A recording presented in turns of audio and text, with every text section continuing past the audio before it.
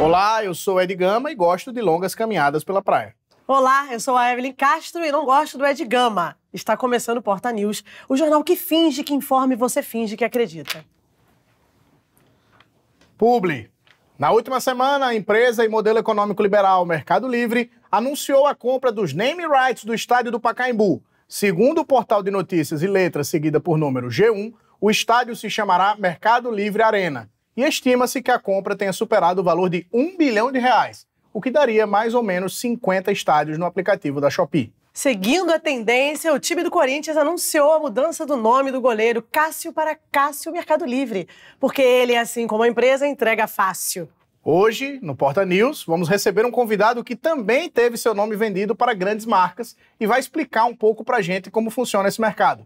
Boa tarde, Renato Dolly da Silva Metro Rio. Boa tarde. Quer dizer, é uma tarde Betfair para vocês, que eu vendi meu boa tarde para o Betfair. Renato, conta pra gente o que que te levou a vender o seu nome para tantas marcas assim? Olha, eu sou um cara muito querido, muito carisma, né? De desde pequeno assim que ando na rua, todo mundo fala meu nome, até porque eu faço muita besteira na rua, sou distraído, então é. Pô, Renato! Ô, oh, Renato, Renato, Renato, Renato! Falava meu nome bastante na rua, aí um cara me procurou pra eu vender meu nome. Então, hoje em dia, assim que eu faço uma merda na rua, é Renato Dolly! Ô, oh, Renato Dolly! Nessa brincadeira são 30 pessoas mais ou menos por dia, tá? Que é o impacto pela marca Dolly. Eu chamo isso de publicidade out of home. Tu ouve um Dolly, não esperava ouvir, nem sabe que é publicidade às vezes, e o Dolly fica na tua cabeça, chega em casa, o que, que você faz? Pede um Dolly. Mas você não acha estranho ter uma marca no, no seu nome? Porra, tem um monte de gente tem, famosa. Marcelo Odebrecht. É, Regina Casé. É Casé TV aquilo. Pouca gente sabe. Mas Cláudia Raia. Fechou um negócio vitalício lá com as drogarias, né? Nadador César Cielo. Chama Cielo. Quem vai ter o nome de maquininha? Ninguém tem o nome de maquininha. Mas Gil do Vigor. Porra, é, é iogurte. Claudinho PS3. Claudinho PS3, quem é? Meu primo que desbloqueia PlayStation 3. É, Toda a região metropolitana. É, como é que você começou nesse ramo, assim? Cara, tudo começou no Serasa. Foi a primeira pessoa, enfim, que tomou meu nome. Foi mais porque tava sujo mesmo. Então nem vendi, não. Eles, eles meio que tomaram. Foda, né? Mas ali eu vi que dava para envolver dinheiro e nome e tal, e virou uma prática da minha família inteira. Todo mundo. É, então a sua família também entrou nesse ramo? É, a gente só não chama de família, chama de Sprite, né? O pessoal da minha Sprite tá todo mundo nessa. Minha esposa é a Carmen Bob dos Santos City Call. Beijo pra ela. Te amo. Meu filho é o KM de Vantagem Júnior. E minha filha é a Maria Claro. Foi bem fácil, que foi só trocar o pelo Bem, bem legal. E minha mãe, pô, talvez vocês até conheçam, Regina Hollywood Vermelho. Olha. É. E tem o menorzinho, né? Aproveitar e mandar um beijo pra ele, que é o Johnson. Ah, da Johnson, da marca Johnson Johnson? Não, não, não. É, é, é, só porque é Johnson, é o nome dele. Ele não fechou uma parceria pra ele. Não. Tá aberto, aliás, se alguém quiser botar. A gente tá tentando fechar com a Nike. Né, que ela gosta de trabalhar com, com criança. Obrigado você, Renato. Foi um prazer recebê-lo aqui, tá? Quem quiser, inclusive, ter sua marca, a gente aqui, ó, tá vago. Tem um espaço aqui, não sei se vocês estão vendo. Entendeu? Vocês podiam estar aqui hoje, ó, deu um mole. Você aí que tem um, um nome, uma coisa para divulgar, cadê? Cadê tá aqui? É só ligar. Não, não, vai ter número de telefone, não. Ninguém vai botar número de telefone aqui. Come to Brasil! Governo revela que os gastos de turistas no Brasil em 2023 superaram o ano de Copa e chegaram a 6,9 bilhões de dólares, ou seja, uns 15 mates na praia, na cotação real para gringo. Bafômetro. A empresa e pretérito imperfeito sentia lança uma bebida sem álcool que promete te deixar baqueado. Tipo um Boa Noite Cinderela, mas sem a parte de acordar sem um rim em uma banheira de gelo. Segundo a revista e laudo exame, a geração Z questiona tudo, inclusive os efeitos nocivos do álcool. Ao descobrir esses efeitos, elas preferem as bebidas que vão bem na balada, mas que não embriagam. Tipo Nescau geladinho. Essa nova bebida, que é destilada à base de plantas, mas sem álcool, promete proporcionar aquela sensação de dois drinks. Ou seja, aquela vontade de fumar um baseado, seguido por uma carreira de pó, com uma pitada de MD e ácido. Ou só fumar um caldo e sair na porrada. Ou uma vontade incontrolável de explorar os prazeres da próstata. Ou então, se você tiver um primo, um amigo, Ei, um conhecido. Vamos seguir, Ed. Vamos. Que eu não gosto. Morto muito louco. Segundo o jornal e a unidade de papel Folha de São Paulo, uma quadrilha de Minas Gerais foi presa por transportar drogas dentro de caixões.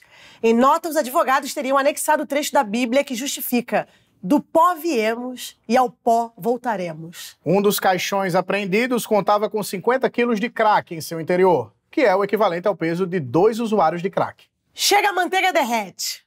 Em Barueri, um dono de padaria se irritou com um cliente que usava seu notebook para trabalhar no local e tentou agredi-lo com um pedaço de madeira. Em sua defesa, o padeiro alegou que foi o cliente que pediu para ele descer o cacetinho. Já a empresa Starbucks teria agredido um cliente que teve a audácia de entrar em uma unidade e pedir um café. Por isso que faliu. Madagascar. Segundo o site monossílaba tônica UOL, um zoológico em Nova York passou a permitir que turistas batizem baratas gigantes com o nome de seus ex. O marketing do zoológico está estudando chamar a campanha de Ele vai dar uma batizada na barata dela. Entre os frequentadores mais assíduos estão Arthur Aguiar, Luísa Sonza e Neymar, que apadrinharam 378 baratas. Mas a campanha não vem dando muito certo porque as baratas estão recebendo centenas de ligações de madrugada, fotos temporárias e foguinho nos stories. Viradão. Segundo a revista e detergente Veja, a Prefeitura do Rio anunciou que durante o carnaval o metrô vai funcionar 24 horas por dia, assim como todo fulião depois de encher o cu de MD. Jejum intermitente. A influenciadora Maíra Card foi condenada a indenizar seguidora que comprou um curso seu. Segundo o jornal e Casa de Batalha Naval G1, o curso prometia ganhos de 250 reais por dia, além de uma sociedade com a influencer. Aparentemente, o curso ensinava a se casar com a Maíra Card, trair ela repetidas vezes e em seguida vencer o BBB. Hora do recreio. A empresa de cosméticos Sephora, assim como nosso chefe Fábio Porchat, vem sofrendo muito com o assunto crianças. Segundo o site de notícias e alfabeto dito por uma pessoa gaga, BBC Brasil, consumidores relatam que meninas de 12 anos têm invadido as lojas da marca, chegando a arrancar produtos das mãos de outras pessoas, bagunçando o balcão e fazendo grosserias, ou seja, a experiência normal de qualquer pai presente em um sábado à tarde. Maçonaria. O fundador da Neuralink, Elon Musk, uma espécie de Rodrigo Faro do Vale do Silício, com a porta da casa um pouco maior, anunciou que a empresa realizou o primeiro implante de chip cerebral com sucesso no mundo, já que o plano dos Illuminati de colocar os chips secretamente dentro da vacina não deu muito certo. Segundo a revista e verbo imperativo Veja, o implante testará a possibilidade de controlar dispositivos apenas com o pensamento. Mas especialistas divergem sobre o assunto. Alguns temem que a tecnologia caia em mãos erradas e acabe virando um episódio do Flow Podcast.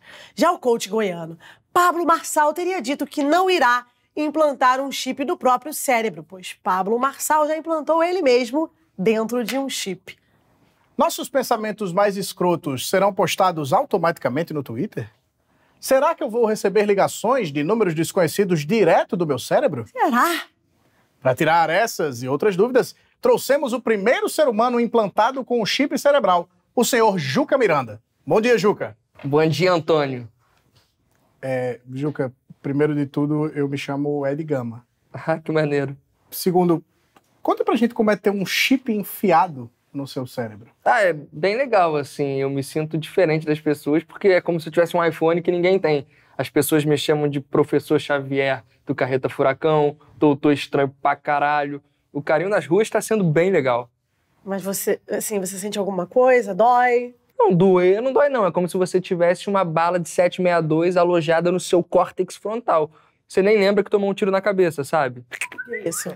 Você tá bem? Não, é que eu recebi uma notificação aqui de jogo. Que legal. Você tem, você tem jogo direto aí no teu, no teu chip? Tenho da cobrinha. Quer ver? Não. Tá tudo bem. Né? Mas, Juca, você, você já controla algum dispositivo com pensamento? Dá para fazer alguma demonstração aqui pra gente? É, eu consigo transferir dinheiro. Eu posso mostrar para vocês? Licença. É por aproximação. Me avisa se entrar. Eu acho. Tá bom. É. Brasil, é, agora é a hora do quadro que o Brasil vai ter que aprender a amar, porque nós não vamos parar de fazer. Que é Quem foi à praia essa semana? A cantora Lesha, ex do ex-BBB, é tietada por fã em dia de praia com o namorado. A talentosa Jade Picon exibe virilha lisinha em biquíni fio dental durante treino na praia e ganha olhares de MC Daniel. Uau! Andréa Beltrão, aos 60 anos, exibe corpo real em maiô vazado durante flagra íntimo com o marido na praia. E por fim, Larissa Manuela empina o bumbum em fotos de biquíni fio dental. E comentário de André Luiz Frambá rouba a cena dizendo, abre aspas, no quintal, fecha aspas. Esse foi o Porta News. Fique agora com todas as desculpas que seus amigos te deram para não te ver no carnaval. Bom, Bom dia. dia.